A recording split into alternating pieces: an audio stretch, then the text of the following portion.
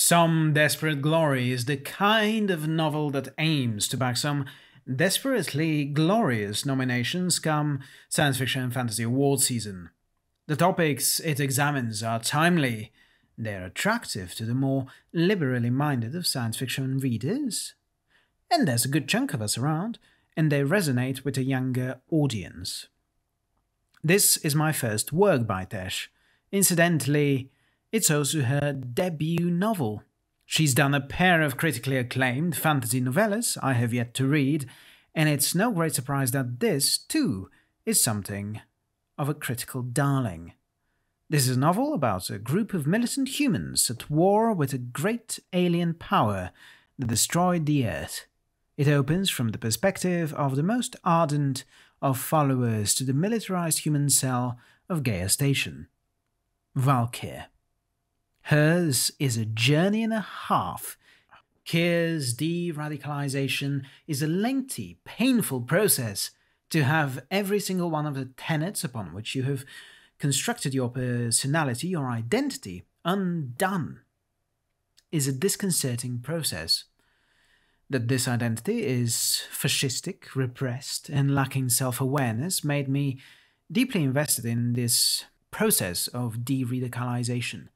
Tesh captures the desperate rationalizations, the frantic leaps in logic that Valkyr makes throughout the novel's second part, as she begins to recognize the rotten nature of the society that produced her on an intellectual level, but that she denies time and again at the emotional level.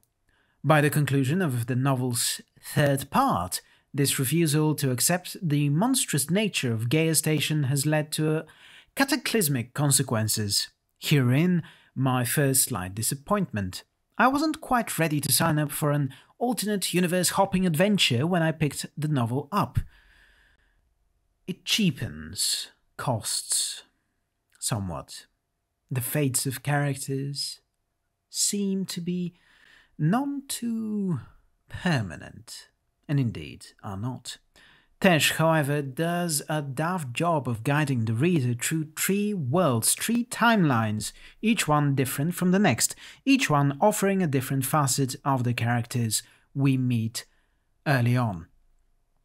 Enemies turn out to be the best of friends, heroes are revealed as selfish villains, and love and hate often interweave.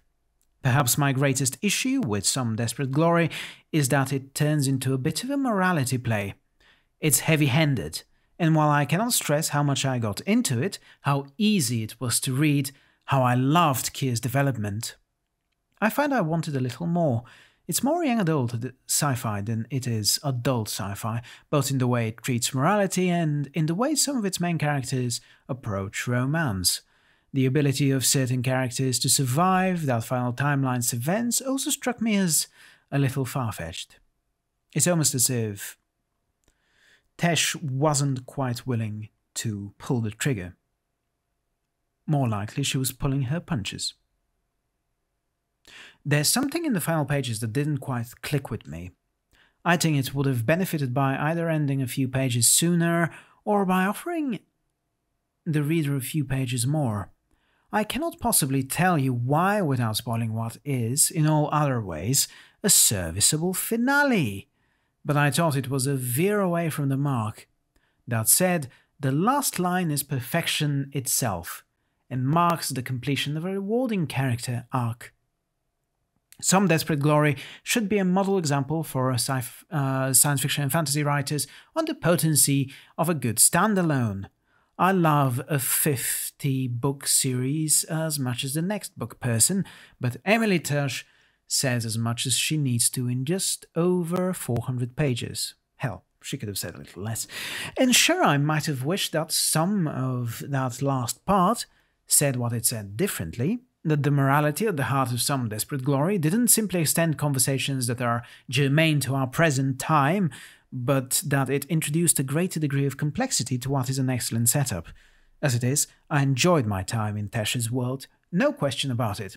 Yet I find that no matter how I'd like to endlessly gush about Tesh's debut, my delight with it is conditional. And isn't that the greatest shame? Also, I loved the United States edition cover when I first saw it.